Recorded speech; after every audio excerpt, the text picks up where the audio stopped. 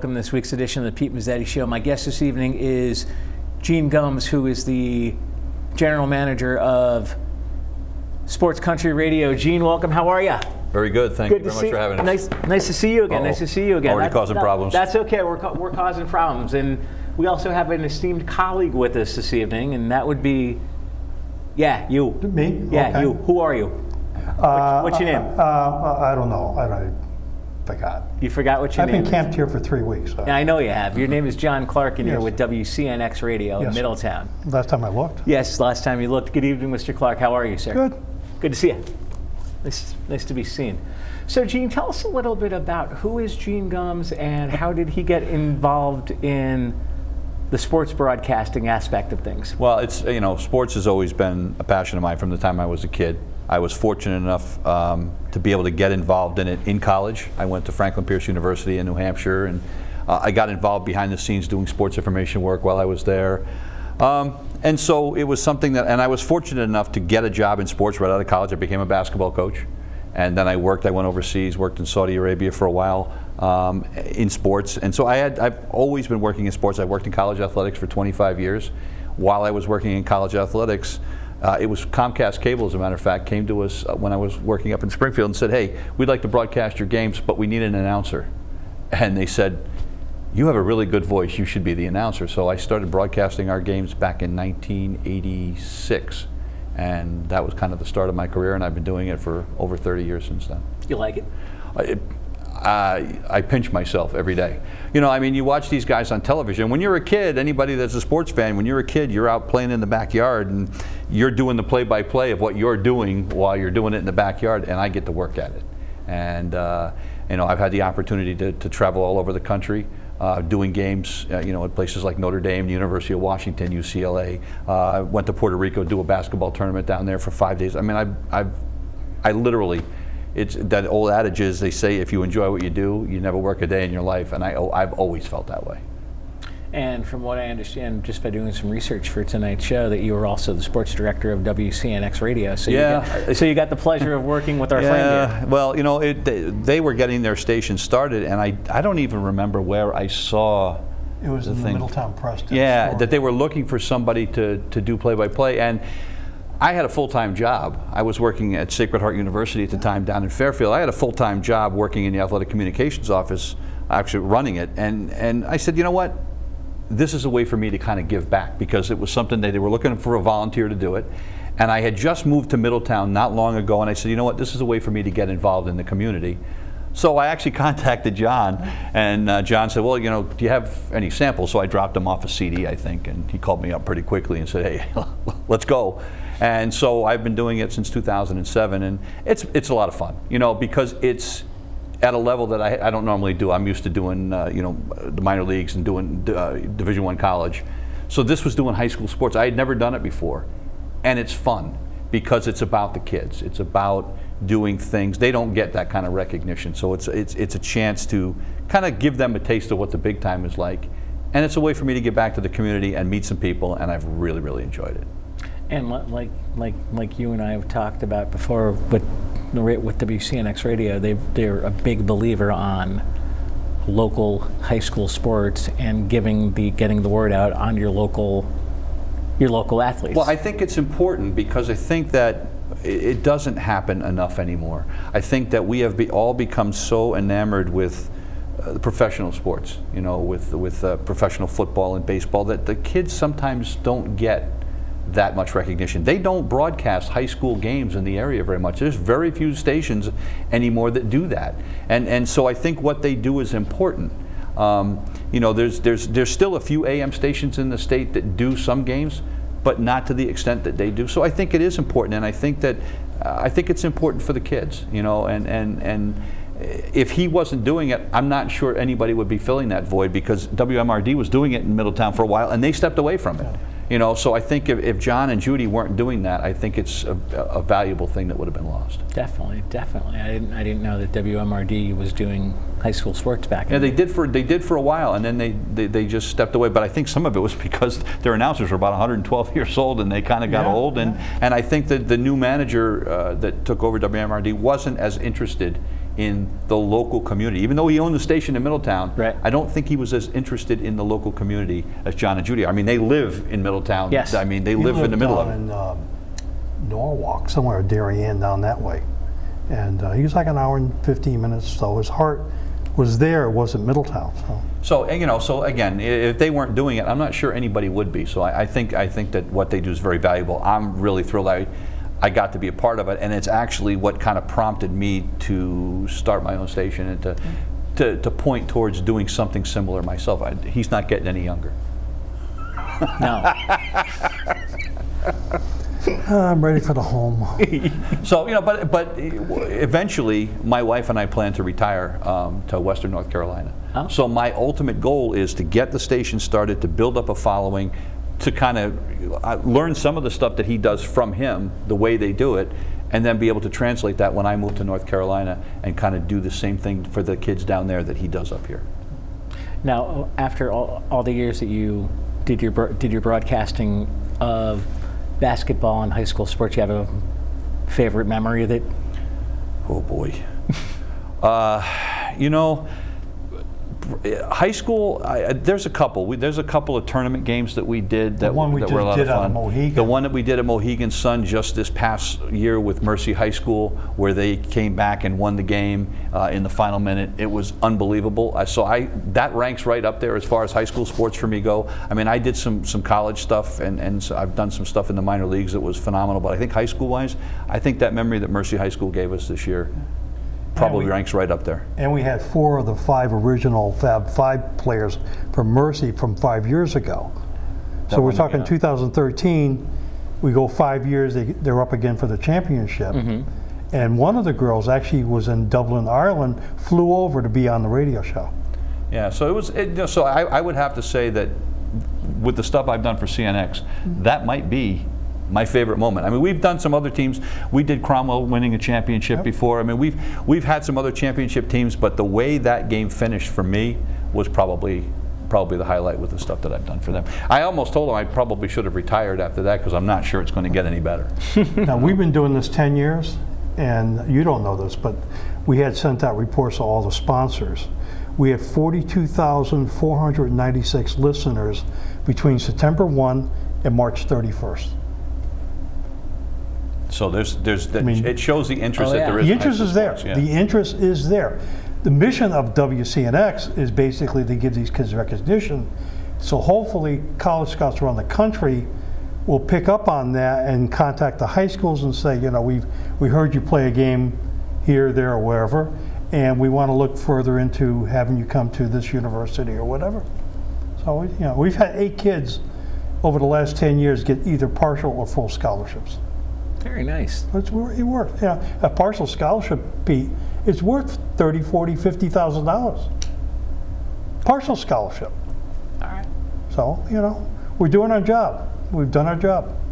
You know, it's it's not it, it's it's not it's not glamorous for us because a lot of times when you do the games at a high school, and again, this was this was something that I had to learn because when you're doing college sports or you're doing pro sports, you know, you've got plenty of room to operate, and you you know you got a nice setup. You know, you're right at courtside. You know, when we do games, sometimes we're in a little corner of the gym. You know, on a little table, and you don't you don't always have the greatest sight lines. But again, that's one of those things that that I learned very quickly. That you know what, it's not about my comfort. I'm here you know, to do stuff for the kids, and that's that's really what it's all about for me. And, and and I think that's how John and Judy feel the same way. I mean, you know, we try not to complain too much. Well, I try not to complain too much. John does a pretty good job, but but but I think that I think that we learned fairly quickly that it's not about us. It's about the kids, and let's do the best job we can for the kids. And I, and I think I think John and Judy have done a pretty good job of that, and that's my goal as I as I go forward with with my my endeavor. Right now, it's not about broadcasting so much as it's Uh, me trying something new and hosting a morning show, doing something that I've always wanted to do.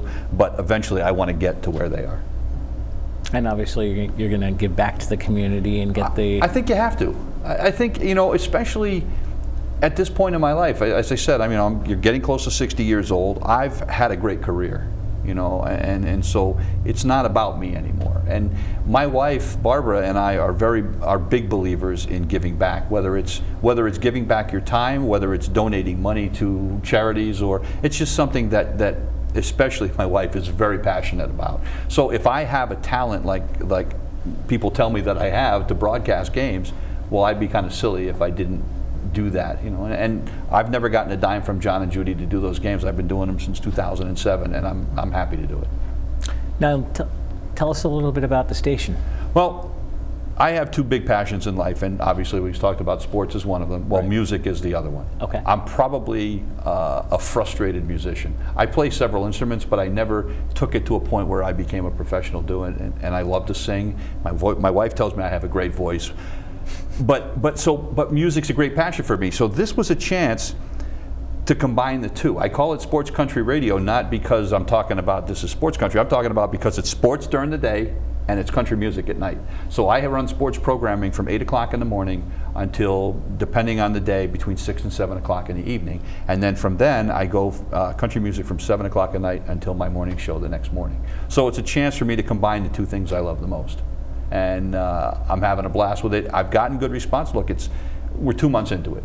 So it's going to take a little while. Um, but it, it, gave me a chance to combine the two things that I love the most. And as I told you, my big thing was I've always wanted to host a radio show. One of my broadcasting heroes was is Don Imus. Oh yeah. I was an Imus in the Morning fan. I listened to him religiously. Um, from the time he was on uh, WNBC in New York back when, when we were kids. Um, so, look, I'm not Don. He told me I should get a cowboy hat and try to be like Don Imus, but that's not going to happen. No. Um, but but I've always he's been one of my heroes. So I always wanted to host a morning show. Now, look, he had a cast of you know he had producers and he had a newsman. He had other. people. I'm doing it by myself, but I got to start somewhere, right? So I, I, I can't be Imus. Look, you know that's not me, but but I can have fun with it, and that's what I try to do on my morning show. I I have some sports, I have some news, but then I try to do some funny things. Like I'll look for odd stories to talk about, or or things that are just stupid, you know, or so you'll call him. Or yeah. yes, yeah, you know, or, or or I make fun of myself. My wife and I just came back from vacation. I've got I've probably got a week's worth of stories about my vacation. So unfortunately, those of you that listen in the morning, I'm sorry, but I've got plenty of stories still to go. But but that's kind of what I want to do. I want people to have fun with it. You know, I don't want it to be like just you know somebody who's a boring talking head because there's plenty of those out there. Um, I, I want to try to make it somewhat fun, and I throw a couple of songs in there as well. Um, you know, so it's just and, and, like Imus used to do. He would talk, and then he has some his whatever his favorite artist of the day was. He would he would play music. So that's kind of what that's what my goal is, and and it's a lot of fun. It is, and obviously you love you love what you're doing. Yeah, and, and I'm trying. Um, I'm gonna try. I'm trying something new. I'm, I'm hosting an afternoon show as well, um, from four to five in the afternoon, three days a week, and where I'm taking calls from people. Very nice. Now, you, you, know what? We're going to talk about that when we come back. Right. Would you mind sticking around? Perfect. No, I'll be right here. All right. We'll be right back. I'm Howard Schwartz from the Better Business Bureau serving Connecticut with a consumer moment. Consumers have more power in their hands than ever before. We can go into a store to find an item and then jump on the computer and click until we find the best price. Just remember, aside from the majority of legitimate businesses, there are criminal operations that put up sophisticated looking websites that are designed to steal your credit card or other financial information. Even legitimate bottom basement prices can sometimes be deceiving if you compare the costs of shipping and handling. Do your homework, take your time, and try to stick with well known websites. Before you pay, make sure that the website address begins with HTTPS. S stands for secure and you'll see a padlock icon next to it. That means the website is taking the steps necessary to protect your information. This consumer moment is brought to you by BBB Serving Connecticut, where you can start with trust. And welcome back to this week's edition of the Pete Mezzetti Show. Sitting here with Gene Gumbs from Sports Country Radio. Gene, welcome back. Thank you. And we have our our grandfather with us. I have to go take my Metamucil. Actually, I, I call him my. Actually, he's. He, I guess he's probably my, my radio godfather. Oh no! You know, well, don't tell him. You know, and, and, and, and I don't want to. I don't want to blow his head up any more than it already is. But yeah, but please don't. He's been very helpful to me in getting this thing off the ground. He, his son Brian has been helpful as well. I mean, oh, it's yeah. just it, it, it's you know it, it was a great idea, but then I go, oh crap what, do I got to do? And so I had to call him up and say, uh, you know, and so he filled in a lot of the blanks for me, and and you know, so you know, I don't want to give him too much credit, but I got to give him some credit. Keep that, talking. that, that he helped me. He really helped me get it off the ground. And I'll tell you, Pete, the Yeah. one thing I didn't realize how much work it was going to be. I thought, well, you know, you- you're going to go talk on the radio for a couple hours. How hard can that be? Until you realize two hours is a long time to talk if you don't have a script. You know, and, and if you're by yourself. Now, I have guests on. I have people that call in that are my guests, and I, I might have a segment every day where I have a guest, but I'm still talking for an hour and a half. So I have to have a script every day, like to know what I'm going to talk about when. So I spend hours at night prepping for the next day's show. It's become a full-time job. I was like, wait a minute, I didn't, I didn't realize how tough it was going to be. I can only imagine. You've been doing this what, for a long, long time. I have. And you know, I'm sure there's other some segments that are easier than others. And, Oh, and there are some times that you look at, at at the news or you look at who your guest's going to be and go, what the hell am I going to talk about? And I've already, I mean, I've only been on for two months and I've had days going, oh, this is going to be a rough morning. Exactly. you know, I mean, so so it, it's it's a little bit more work than I expected. But, but, but you like it. Yeah, well, I do. Uh, you know, the biggest challenge for me is uh, I think I, before we took the break, I was talking about wanting to do the afternoon show and take calls. Yeah. Well, I don't have a pro- producer, so I can't screen my calls.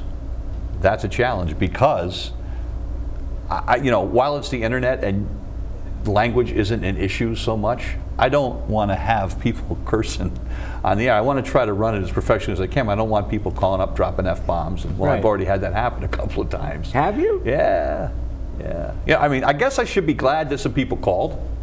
Right. But you know, I had one guy call a couple of weeks ago. Hey, how about that effing game last night? Oh, no. Oh. You know, and so you know, I cut him off fairly quickly, and I, th- you know, you thank him for the call, Yeah. and then you go, and then I, then I kind of segued and went into a little bit more about the game that night. But that's that's kind of the challenge when you're doing a one-man operation and you don't have anybody to screen You your call. guess. Now, my wife says if I want to pay her what she's making now at her job, she'll quit and come be my produce. producer. There you go. But I probably have to sell John to come up with the money to do that. Oh boy, So you know, so so that's you know, so that's a bit of a challenge being a one-man operation. it is. Um, you know, that'd be like if you were doing this show and you didn't have the guys behind the camera and the people in the control room. I It'd be know. kind of tough to, to, to like, do. how am I going to pull this off? Yeah. So it, you know, it's it's not. It's a challenge, but it's a challenge that I that I really am having a good time with. Exactly. Now, when, when you ha- when you have stu- obviously with Sports Country Radio, you guys focus on sports. Right. Yeah, and, but uh, and it's I try to I try to make it a variety of sports. Now, you know, it's got to have a northeast slant because look, I'm, you know, I'm a Boston Red Sox fan. Yes. You know, I'm a, I I root for the Boston Celtics. You know, I root for the New England Patriots. So it's going to have that slant, but I try to make it as national as I can. And uh, because I don't want to turn people off that are Yankee fans or, or, or Giant fans or Jet fans or whatever. So while my show in the morning might have more of a northeast slant, one of the other things I've done is my shows that I have on during the day, I try to come up with a variety. Like I have a guy that's a New York Jets fan, so he does a show every week that's about the Jets. I have somebody else uh, who's a Yankee fan. He does a Yankee show. So I try to uh, to give a little bit of something for everybody. And and I've got three or four more shows getting ready to come online in the next couple of weeks that people people are now the word's starting to get out. So people are actually approaching me and saying, "Hey, I have a show I'd like to do. Do you have a slot for me?" And I said, "Well, if I don't, I'll make one." You know, I mean, because ultimately, if I could get enough programming where I could extend sports programming deeper into the night, I'd be perfectly fine with that. Exactly. You know, um, and, we were talking before we went on the air. There's a kid uh, from right down on the shore here in Clinton, Dan Zampano, who's uh, uh, works at Vantage Sports, and and uh, he and uh, his friend Chris Raza do one um, uh, called Grind Time, and uh, these guys, I mean, they're nuts, but they're fun, and, and they're really into sports, but they're but they do things a little bit differently. Uh, but they're in their mid 20s, and I'm really old you know and so i try to have a like i've got podcasts with people in, do in their 20s all the way up into their 50s and i have a young man that just contacted me from fairfield. Uh, he's 16 years old. But he broadcasts on their high school television station does their sports on their high school television station he wants to know if i'm willing to Noah Finn's had him on about two months ago. Yeah, I- he's an amazing kid. Yeah, he, so he wanted to know if I'd be willing to, to have him show, and I said, you know what, yeah, and I'm, I'm going to embrace the fact that he's 16. Yeah. Uh, and, and, you know, the first thing I'm going to tell him is keep it clean, But after that, I think that it's it's great to have that that broad demographic where I have people all the way from 16 all the way up into their their late 50s doing shows, and I, I think it's going to it's going to work out good. I'm excited about it. To 16, 20, into the late 50s, and then you throw him in the mix, and Well, I don't let him on my air. I'm hitting 70s. Uh, yeah, I don't. I know. I, I don't. I let Judy on the air, but I'm not letting him on the air. Would you let me on the air? I would absolutely let you on the air. Absolutely. Absolutely. Matter of fact, you know what? We'll have to do one of these mornings. I'll I'll, uh, I'll have to have you on, and uh, we can do a segment on my morning show. We'll find something fun to talk about. I'm sure. I'm sure there's plenty of stuff going on down here on the shoreline. I, We'll talk about John Clark. We could probably fill Oh, two hours seconds. with that. Yeah, probably. tell tell stories. But I, I you know, I, I'd love to have you on in the morning. But uh, you know, and and I have a lot of friends in the media that I've met over the years, and I'm going to tap into every one of them. So they, they better be warned. You, So- you can call it the John Clark punching bag segment or something. There, there, there, Perfect. there. You know what? We'll sell tickets. Oh, You know what? I get around Middletown, and they, people find out that I've worked with him, and they all, they all just kind of go, Oh no, not him. yeah. So I, I'll I'll bet we could sell tickets. We, pro- we probably Yeah, could. we probably could. Hey, really, really quick question, and I know, I know that you covered Middletown sports, so Yep. you, you obviously knew Jim Bransfield from the Middletown Press. Doing very well. Great guy, because Uh, I, I covered my one of my side hobbies is I was director of social media for Morgan football, and I did Morgan lacrosse this year, so I had a chance to meet Jim on the sidelines, and our, our coach was like, no reporters on the sidelines except for except for Bransfield from the Middletown Press, and every time he would come on the sidelines. Coach Mezzetti, how are you? Good to see you again. Sir, how's it going? What's new? Might be- Very classy guy. Might be one of the nicest gentlemen I've ever met in my life. Even, and I didn't hold the fact that he was a Yankee fan against him. Um, truly a gentleman and, and uh, one of my one of my favorite people.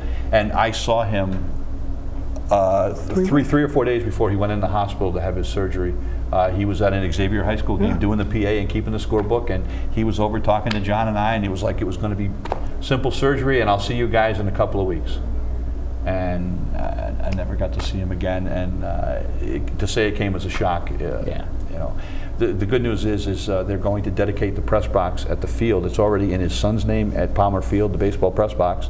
They're going to add Jim Bransfield's name to that, uh, and they're going to do it later on this summer uh, at an American Legion baseball game. Very cool. And I'm happy to say that uh, Sports Country Radio will be there broadcasting the American Legion game when they do that. And Wow. I'm going to try to get his son on because uh, Very cool. yeah, he was an icon in Middletown. Actually, he was an icon in this state. He was. There wasn't a person in this state, I don't think, that didn't that, that didn't know Jim Bransfield.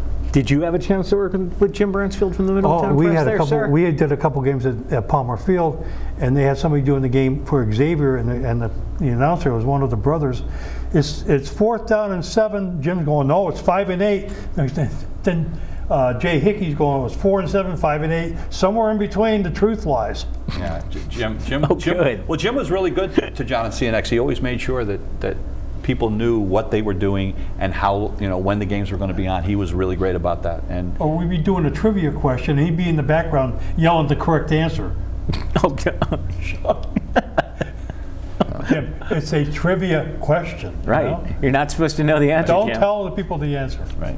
But he was he was great. Yeah. But yeah, no, the, uh, the, the community is going to miss Jim Bransfield. He was a treasure that's not ever going to be replaced. And, and I'm just glad I had a chance to, to, to know him for a little while. I was going to say, I was looking at your, your resume, and I guess you've re- you, you you did some writing as well. I did. I've uh, yeah, a lot of it.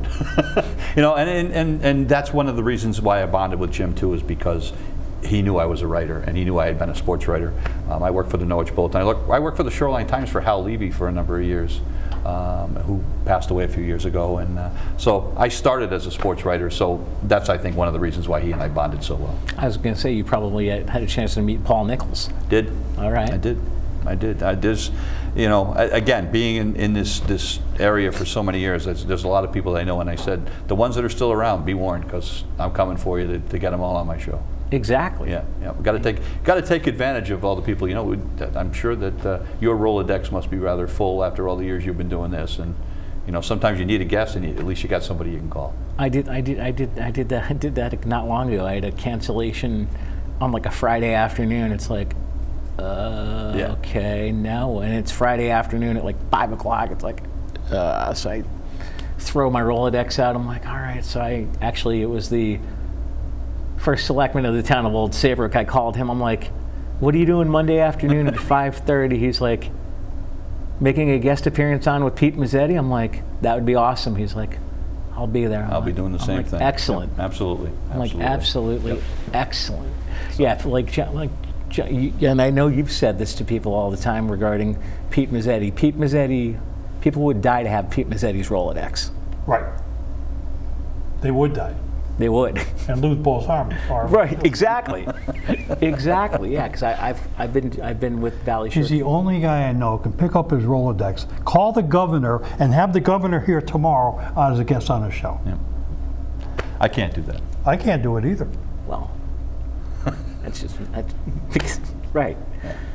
No, it's it, it, I've been I, before doing. I've been with Valley Shore Community TV for about it'll be five years in October. But before that, I was with, like we were talking off camera. I was with Comcast out of Clinton for twelve or thirteen years at least. You're coming up on 20 years. I am coming up on twenty years. So I started when I was eighteen.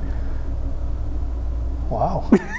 Yeah. now you're 42. and Right then- now I'm 40, right. Well, I'm coming up on two months, and I promise that I'll come back when I'm when I'm when I'm bigger. And uh, and thank you for You uh, for giving me a start. I promise. you promise? I promise. You Yeah. gonna bring him with you? Oh, No. please. Oh, thank God. Absolutely not. Amen. Amen. I'll stay home. Oh, thank God. Pete, thank you very much. Jim. Had fun. Mr. Clark, I'm vacating the seat. I've Thank- sat in the seat for three weeks. I know you have. Say goodnight, Gracie. Good night, Harry. Good night, guys. Thanks, Pete. No problem. On behalf of Gene Gumbs, John Clark, I'm Pete Mezzetti. Thanks, good night, and we'll see you next time.